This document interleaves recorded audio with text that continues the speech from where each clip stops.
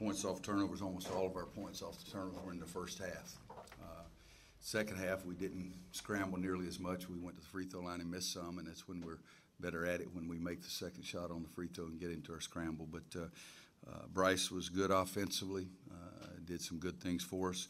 You got six guys in double figures, and you got, uh, I think Kerr said four guys setting a career high in assists. So 30 assists on 36 baskets, pretty good basketball, and you like that part. Uh, no question, I didn't like the fact they shot 56% in the second half, but uh, uh, we were able to uh, do okay. It got down to 12 or 13 or 14 or something like that, one of the coaches said, and then we made some shots, and it was fun watching us offensively after we did get a couple of stops and the way we shared the ball and found open three-point shooters or guys inside.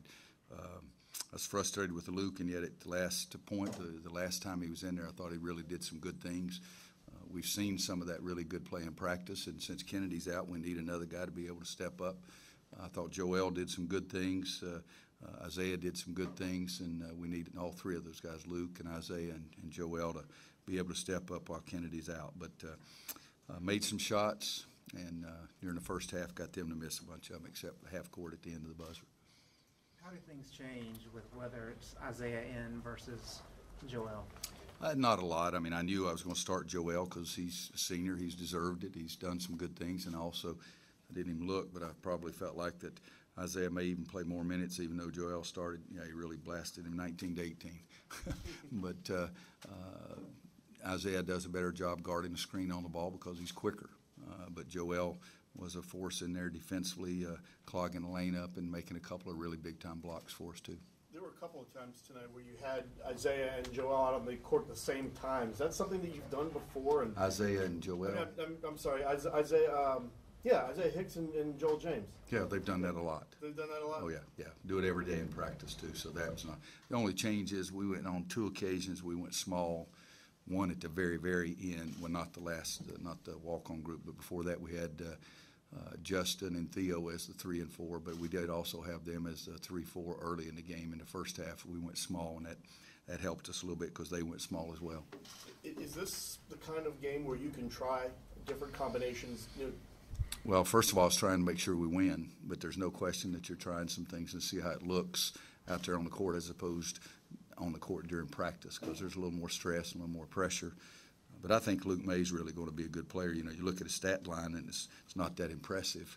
Uh, but I really think that Luke Maye's going to be a really good player for us, surprise a lot of people. And he's got to get a little more confident, work a little harder. And uh, I think if he does that, he's got a knack for coming up the basketball on the boards.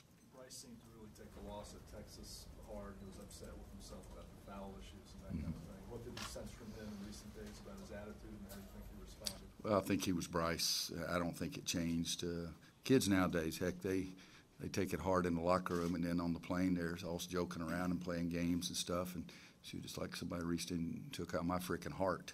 Uh, but uh, Brice is Brice, and you got to understand that. But 25 points and uh, 10 rebounds, I like that. But he's got to play better defensively, and he knows it. But uh, uh, I think for a while there, there tonight, he was real, uh, really a man on the backboards. He got several offensive rebounds in a crowd, and we need him to do that. With the foul thing, I mean, how do you feel about helping him limit fouls? Well, I mean-? This guys, you just got to play hard all the time. I mean, Marcus's first foul today was because Brice wasn't where he's supposed to be, and then Marcus got a second foul in the first half. So what did we have to do the last three minutes of the first half? Had to take Marcus out. So it's uh, Brice wants to be it, but he's got to want it more, and he's got to be more active, more effective, and he's getting frustrated with himself, and I like that. I want him to care. I want him to be ticked off. If you don't play well, I want it to hurt you. And uh, so it's, you know, last year he and Isaiah both um, had trouble making too many silly fouls. And in the game the other day at Texas, a couple of Brices would go in that category. You can't make silly fouls. Your first foul's a silly one, and all of a sudden you get a second one, and that means you don't play as much. He played, uh, Andrew, you may know, I think he played five minutes in the first half. You know, and if, if he's one of our best players, I'd like for him to play more than five minutes. And he must be one of our best players because I keep running him out there at starting lineup. Nine assists tonight, just had, had one in a day. How, what, what are you most pleased with in the progress he's made through ten games? He had a really good preseason. If you go in there right now, he'd tell you he had nine assists and three turnovers because he went brain dead three times. And, you know, I want him to be nine zero. It's, he, tonight would have been an easy night for him to go nine zero because his three turnovers were really just, I mean, I've, the guy this level usually doesn't jump up in the air and come back down with the basketball without passing it, you know, some of that. But Joel had a great preseason for us. Uh, it's been really big for us in a lot of games, and I think he's just going to get better and better and better. And uh, and the good thing, he understands his mistakes and uh, understands what he needs to do, and now he's just got to do it. But uh, I think I even said at the end of the preseason that he had probably he and Marcus were the two best had had the two best performances in preseason.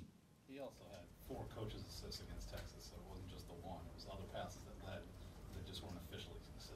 Yeah, yeah, that, the stats were a little unusual there, but it was an unusual game. They scored with less than a second in the end of half, and then scored less than one-tenth of a second in the game. Clock runs out, two seconds forward, we got a two-point win, but it doesn't do that. Put, uh, put Justin Jackson on top of that one three one trap zone. Obviously the length there, but is anything else you kind of like to see him up there? Well, uh, from up there, he's got to be more effective. What I liked, he had four offensive rebounds tonight. And because I told he and Theo, we've got to get more rebounding from the three spot. We played the trap, uh, I think, four possessions, and uh, we've we haven't practiced it enough, so we've got to get a lot better. But uh, uh, Justin plays there, Theo plays there, Kenny plays there. Kenny may be more effective there than the other two guys, so we've got to keep working at it. Anybody else? With Kennedy out, does that affect, does that affect you guys more defensively than in any other area? Oh, I think both. You know, it does affect us defensively because it's hard to move him around in there. Uh, but I think it affects us offensively as well because he's for all the big guys. He's our best passing big man. Uh, you know, tonight, let's see, Brice was 0-2, Joel was 0-0. Uh, let me find Isaiah was 3-0, and we need to have good assist ra- ratios. But uh, uh, Kennedy's the best passing big man we have, so he it hurts not having him on both ends of the floor right now. But bottom line is we don't have him, and so we've got to play with who we have. Thanks, guys. Thanks, Coach. A reminder, tomorrow's scheduled press conference is canceled